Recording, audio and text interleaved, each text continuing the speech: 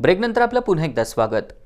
No mask no entry या उपक्रमाचं मुख्यमंत्री उद्धव ठाकरे यांनी कौतुक केल्यानंतर राज्यभर कोल्हापूरचा हा पॅटर्न चांगलाच गाजला. आता मास्क नाही तर पेट्रोल नाही असे फलक सर्व पेट्रोल पंपावर झळकू लागलेत.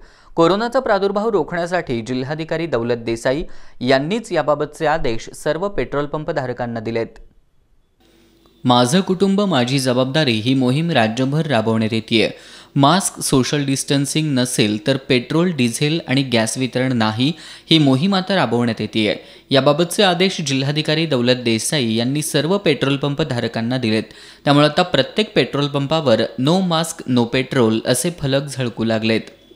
मी कोल्हापूर जिल्ह्यातील सर्व ऑइल कंपन्या पेट्रोल कंपन्या आहेत त्यांना असे निर्देश दिलेले आहेत की प्रत्येक पेट्रोल पंपावर जिथं जिथं पेट्रोल आणि डिझेल दिलं जातं त्या ठिकाणी त्यांनी दोन मोठे बॅनर्स लावावेत. त्याचप्रमाणे त्या ठिकाणी त्यांनी पेट्रोल डिस्पेन्सिंग मशीन्स जिथं असतात त्या ठिकाणी no mask no petrol no mask no diesel असेही बोर्ड लावावेत. जेणेकरून त्या ठिकाणी लोक गेल्यानंतर लोकांना समजेल की आपण जर मास्क घातला नाही तर आपल्याला पेट्रोल मिळणार नाही आपल्याला डिझेल मिळणार नाही.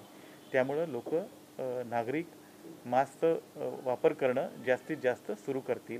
माझं कुटुंब माझी जबाबदारी या मोहिमेमध्ये गॅस आणि पेट्रोल एजन्सीजनी सहभाग नोंदवत जनजागृती करावी तसंच पेट्रोल आणि डिझेल वितरण पंप गॅस वितरण यांनी माझं कुटुंब माझी जबाबदारी या मोहिमेअंतर्गत नियमांचं पालन करण्याच्या सूचनाही जिल्हाधिकाऱ्यांनी केल्या.